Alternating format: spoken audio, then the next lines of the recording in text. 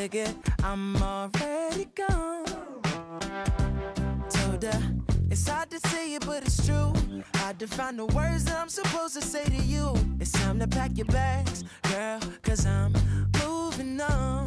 Uh, I said it, I said it, she know that I'm.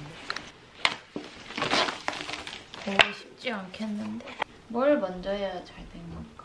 기다란 거를 모양이 아래로 가게 위에도 이렇게 뜯어 봅시다. 음 이게 뭐지? 나 힘이 너무 약해. 아유 오늘 발음도 안 해도 되겠다. 다시 풀고 다시 감고 있는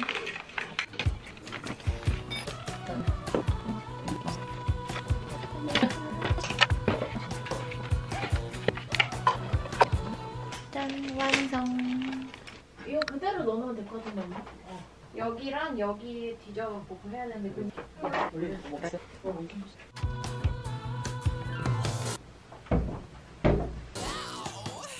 I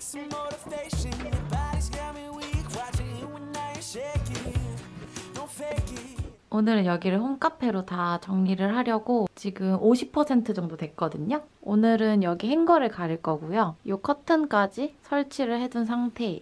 위에다가 후크 같은 거 붙인 다음에 이렇게 내려오는 커튼을 할 예정이에요. 그리고 이제 여기 이런 것도 안에 넣어서 가릴 수 있도록 할 예정이고 이쪽 부분은 옷장은 그대로 놔두고 여기 위에도 정리를 했고요. 이 옆에도 정리를 해서 공간이 많이 남은 상태예요. 그때 만들었던 이 스툴도 여기 있어요. 여기 거울도 놨고 이거는 그때 옛날에 사놓은 건데 진짜 사놓기 잘한 것 같아요. 아 그리고 테이블 일단 오늘 할 거는 이 행거를 가릴 수 있는 천을 달아줄 거예요. 거기가 괜찮은 것 같아요. 음, 또 여기 하면 되겠지. 됐어요. 좋죠? 오, 깔끔합니다. 짠! 이렇게 다 걸었고요. 한 7개 정도 붙이니까 딱 맞아요. 이제 탁자를 옮기려고 해요. 집에 있던, 집에 있던 요 테이블이 있어서 요걸 놔둘 거예요. 근데 요게 좀 올드한 느낌이 있어서 요 위에다가 또 천을 깔아줄 겁니다. 이거는 방수천. 방수천을 깔아주고 이렇게 방을 한번 꾸며봤어요. 제 방이 스튜디오가 된 기분이. 그리고 여러분 제가 최근에 룸투어에서 이불을 엄청 추천을 많이 해드렸잖아요. 강추한다고. 계속 이걸 잘 쓰고 있었거든요. 근데 이 제품이 패브릭 스토어 제품인데 패브릭 스토어 측에서 선물로 이불 세트를 보내주신 거예요. 이번에 홈카페로 이렇게 꾸미면서 이불도 같이 바꿔보려고 해요. 라벤더 색깔로 여름 맞이 겸 한번 바꿔보려고 합니다.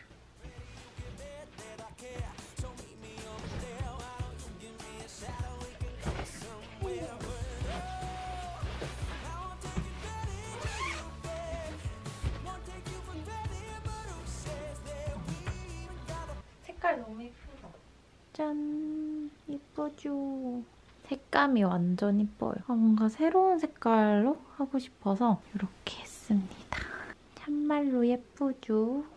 안녕하세요 여러분 하채입니다. 오늘은 제가 4월부터 야금야금 준비했었던 홈카페 인테리어를 보여드리려고 해요. 근데 이번 홈카페 인테리어는 제가 베란다에다가 홈카페를 해본 거거든요. 코로나다 보니까 카페를 가기가 좀 힘들잖아요. 그래서 집을 카페로 만들고 집에 에스프레소 머신도 구비를 했어요. 그래서 홈카페 인테리어를 보여드리고 그 다음에 홈카페를 어떻게 이용하는지 이런 걸 보여드리려고 합니다. 요즘 홈베이킹에 빠져서 진짜 주변 사람들 다 나눠준 쿠키가 있는데 그게 너무 맛있다고 해서 그거 이번에 에어프라이기로 만들었거든요. 그것도 보여드리고 버터 쿠키도 간단하게 만드는 거 보여드리려고 합니다. 홈카페 인테리어 어떻게 했는지 한번 보러 가실까요? 여러분 베란다 홈카페 인테리어를 보여드릴게요. 짜잔 이렇게 한번 꾸며봤습니다. 어때요? 괜찮나요? 첫 번째로 이 행거를 먼저 보여드릴게요. 행거를 가렸어야 됐는데 이렇게 긴 천은 안 팔더라고요. 그래서 따로 동대문에 가서 직접 천을 떼왔는데 이 천 같은 경우에는 되게 주름이 잘 안 가는 그런 소재예요. 이 뒤에 이렇게 행거가 있습니다. 처음에는 저기 위쪽에 있는 요거를 붙였는데 이걸로 붙이니까 다 뜯어지더라고요. 그래서 요 좀 두꺼운 거 하중을 더 잘 받을 수 있는 고리를 붙여서 매듭 지어서 걸어놨어요. 이 행거 천의 장점은 재봉선이 따로 없고 되게 깔끔하게 가릴 수 있어서 너무 좋았는데 약간의 이런 사이즈 미스로 인해서 여기 끝에가 좀 남긴 해요. 이 부분은 그냥 이렇게 이렇게 해서 대충 가려주고 있습니다. 이쪽 커튼을 보시면 이 커튼은 많이들 보셨을 거예요. 이 커튼은 굉장히 저렴하고 오늘의 집에서 구매를 했어요. 행거천도 하얗고 여기까지 하얘버리면 너무 하얀 방 같을 것 같아서 이쪽은 꽃으로 이렇게 꾸며봤습니다. 제가 생각한 천은 아니에요, 사실. 아주 하늘하늘 얇은 건 아니고 광목천인데 얇은 버전? 제가 생각한 느낌이랑 완전히 같지는 않은데 방에서 볼 때 이 꽃으로 된 커튼 때문에 훨씬 예뻐 보이고 봄봄한 느낌이 있었어요. 그 다음에 이 등 가시랑 요 조그만한 조명 이 조명을 산 이유는 정말 저렴한 가격에 조명을 달아서 이쁘게 바꿔볼까 하는 마음으로 구매를 했던 건데 설치를 하고 보니까 너무 별로였어요, 사실. 그래서 실패를 했다 싶었는데 그래도 인테리어적으로 이 등갓이랑 건전지를 사용하는 조명 같이 다니까 또 예쁜 것 같아서 여기에다가 달아줬습니다. 이 의자는 아시겠지만 제가 컴퓨터 의자로 사용하고 있는 의자를 여기다 놔봤고 나중에 필요하면 접이식 의자를 하나 놓을 생각입니다. 그리고 그 다음에 제가 가장 신경 써서 꾸몄었던 테이블 위를 보여드릴게요. 테이블을 궁금해 하실 수도 있을 것 같아서 보여드리면 이렇게 생긴 앤틱한 티테이블이에요. 이게 원래는 큰 베란다에 있던 테이블인데 딱히 필요는 없어서 제가 홈카페용으로 사용하겠다고 해서 여기다 한번 더 봤는데 올드한 느낌이 들어서 이렇게 천을 깔아줬어요. 이 천은 방수천으로 이것도 엄마가 직접 맞춤으로 한 건데 생각보다 좀 너무 길긴 해요. 근데 사용하는 데는 전혀 문제가 없어서 지금 여기다 두고 테이블보로 사용하고 있고요. 방수천이다 보니까 뭘 흘려도 금방 닦을 수 있어서 딱 테이블보로 적합한 것 같아요. 그리고 이거는 조화예요. 양귀비 조화인데 이 색깔이 정말 예쁘더라고요. 그래서 여기에 조화를 하나 놔줬고요. 이거, 이 겉에 있는 이거 뭐라 그러지? 이거는 이케아에서 구매를 했었고요. 이 조명은 옛날에 구매했었는데 사용이 잘 안 되더라고요. 근데 이쪽 방을 꾸미는 용도로 쓰면 좋을 것 같아서 이쪽 방에다가 놔둔 상태고 이거, 이게 진짜 생각보다 가성비 갑이었어요. 정말 촛불같이 이렇게 하늘하늘하고 불빛도 이쁜데 이런 건전지로 하는 이 촛불이 아른아른하게 보여서 되게 분위기 있더라고요. 그래서 이거 생각보다 너무 이뻐서 잘 샀다고 생각했어요. 그리고 이 바닥에 깐 거는 테이블 매트인데 되게 예전에 구매를 했던 건데 이 라탄 느낌의 테이블 매트가 이 방이랑 어울릴 것 같아서 일단 메인 테이블 매트로 쓰고 있어요. 그 다음에 제가 최근에 산 조명 중에 가장 귀엽고 가장 마음에 드는 아이인데 이렇게 생긴 아이예요. 크기도 크지 않고 제가 손이 큰 편이긴 하지만 그렇게 높지도 않고 자리 차지를 많이 안 해서 너무 마음에 들어요. 그리고 조명 하나로 인해서 이 방 전체가 은은하게 역할을 톡톡히 해주고 있어서 정말 가장 마음에 드는 조명이 얘랑 얘예요. 얘는 마켓비 제품이고요. 어, 이 동그란 모양이 너무 귀여워서 구매를 했어요. 그리고 이 잡지를 한번 소개를 시켜드릴게요. 이거는 인테리어 잡지예요. 이 책은 The Touch라는 책이고요. 여기 보시면 이렇게 써져 있는데 Kinfolk랑 Norm Architects라는 덴마크 인테리어 브랜드가 협업해서 만든 세계 아름다운 건축 디자인을 소개하는 그런 사진집이에요. 책에 나오는 인테리어나 스타일이 진짜 따뜻하고 묻어난 느낌이라서 책을 보고 있으면 되게 마음이 편해지더라고요. 살짝살짝 보여드리면 전체적으로 우드한 느낌이 많이 드는 그런 따뜻한 느낌으로 인테리어들이 많이 보이더라고요. 그 중에서도 저는 이런 우리나라를 소개시켜주는 건축물이 있어서 이걸 가장 먼저 봤었어요. 이렇게 우리나라 건축물뿐만 아니라 뭔가 덴마크나 이탈리아 등등 세계 여러 나라 건축물이나 인테리어를 다 볼 수가 있어요. 근데 전체적으로 읽어봤을 때 유행을 따라가는 그런 인테리어보다는 디자인 하나하나에 사연을 연결해서 설명하거나 디테일한 부분이 잘 설명이 되어 있어서 인테리어에 관한 지식을 얻기가 굉장히 좋더라고요. 이게 무엇보다 전체적으로 내용이 일상에 적용하기 쉬울 만한 그런 디자인적인 영감을 많이 주는 책이라서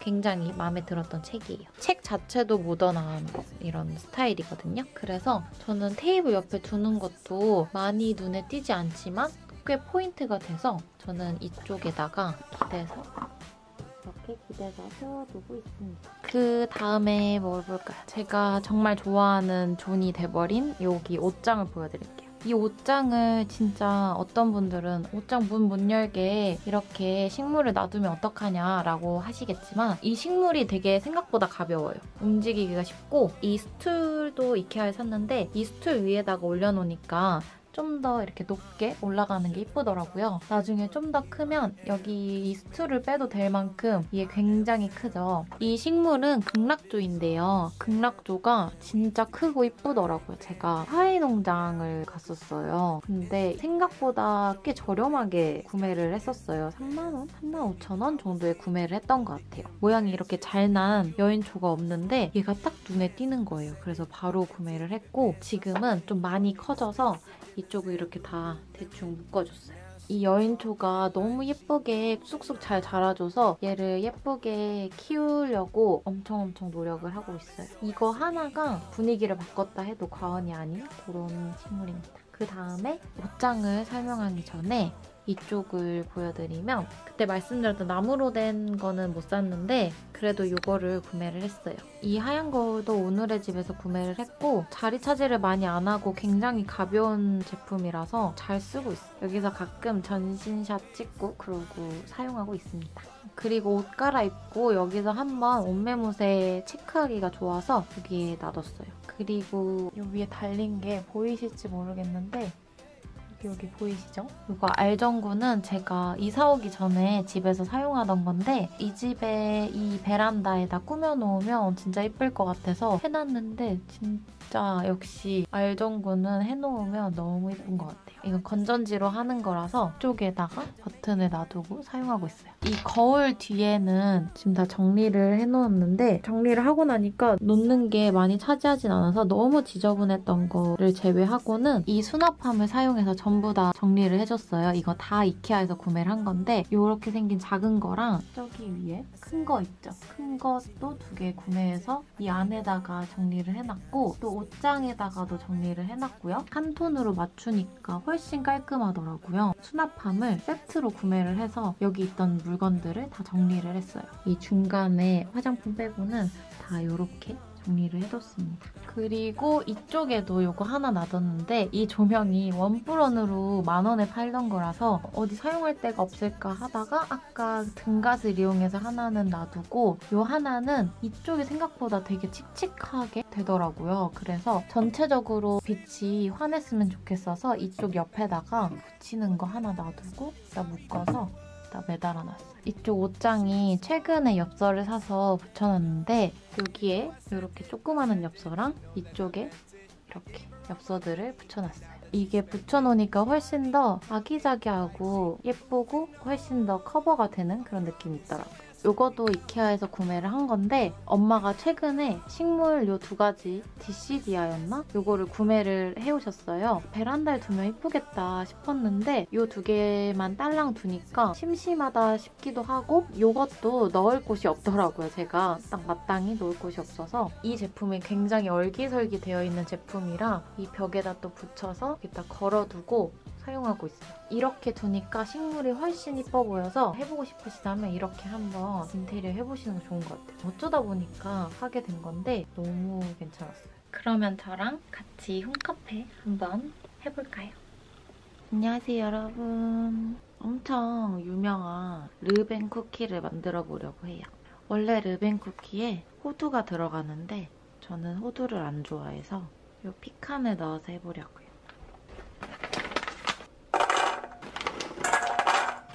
이 피칸을 먼저 전처리를 해줄게요. 피칸 전처리 하려고 물을 끓이고 있고 어, 중력분, 박력분 먼저 다 섞어 놓을게요. 박력분, 중력분을 넣어볼게요. 100g. 지금 물이 다 끓어서 한분 정도 데쳐주라고. 씻어서 있어야 됐을까요? 물이 되게 검하네. 물기를 다 뺀 다음에 한번 볶아야 된대요. 호두로 안 하고 피카노로 해서 그런지 얘 색깔이 다 뺏긴 것 같아서 조금 걱정이에요. 이렇게 하는 게 맞나?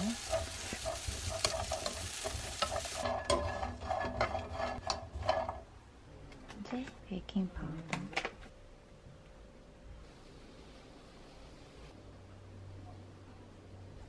집에 감자 전분 있길래 이것도 넣으려고요.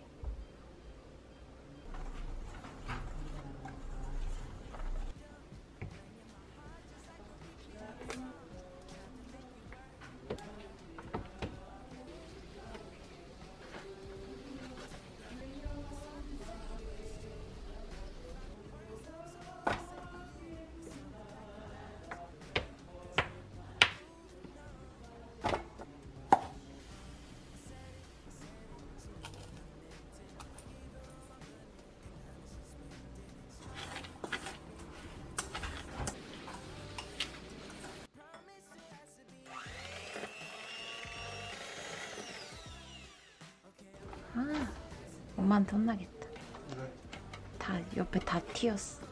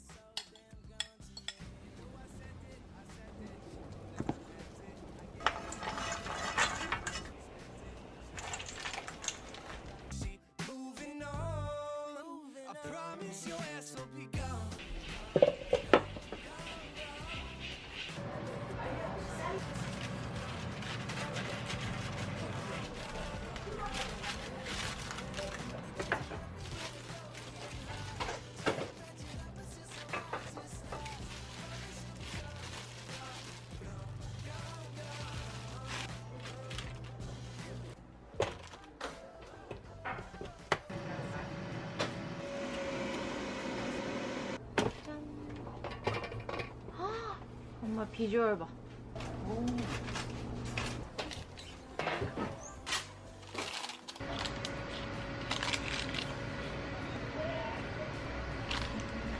좀덜 익은 것 같은데?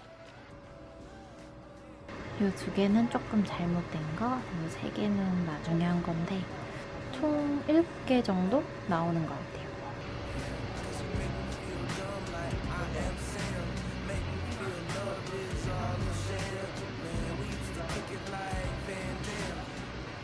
오늘 집에 사람이 없어서 제가 한번 버터쿠키를 만들어 보면 어떨까 해서 홈 베이킹을 해보려고 합니다. 일단 먼저 앵커 버터거든요. 먼저 120g을 준비해 줄게요.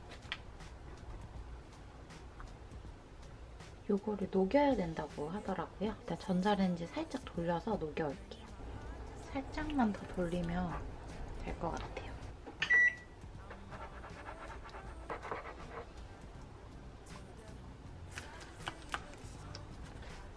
다음에 양육분을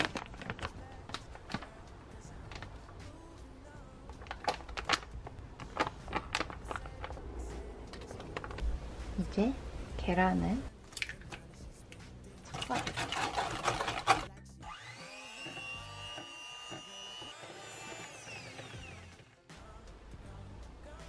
음, 왜 이렇게 작은 걸로 쓸까요?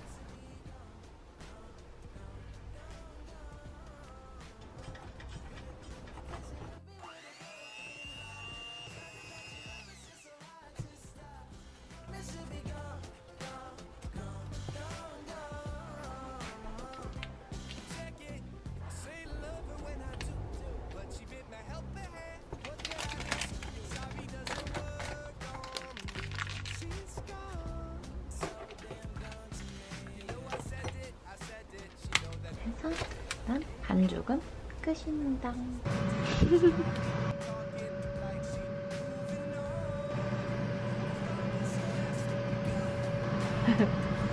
지금 예열 중이고 한번 첫 판 구운 다음에 다른 것도 확인을 해봐야 될 것 같아요. 잘 될지 모르겠어요.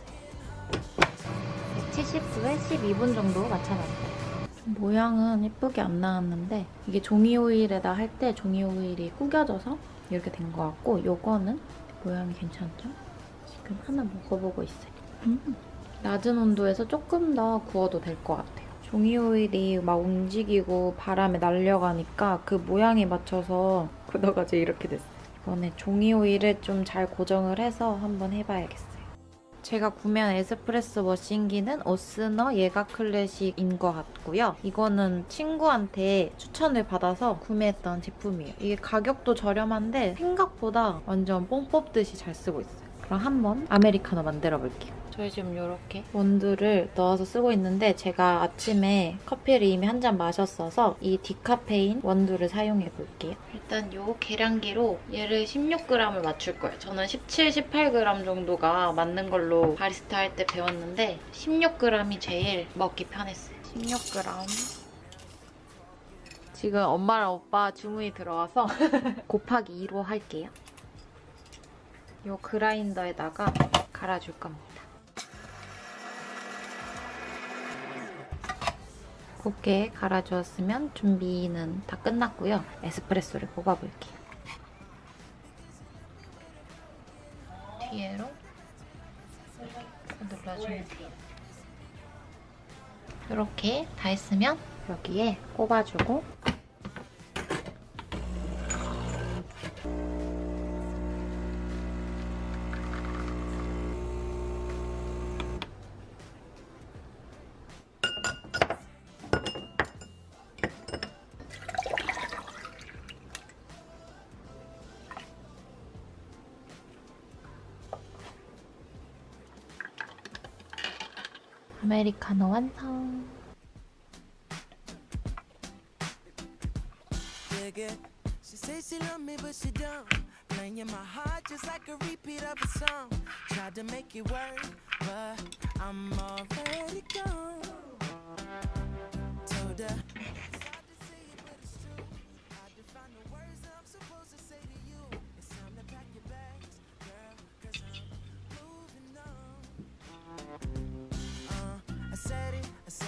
She know that I meant it. I gave her all my money, and now that she spent it, she already talking like she moving on. A oh, girl, I promise you, has to be gone, gone, gone, gone, gone.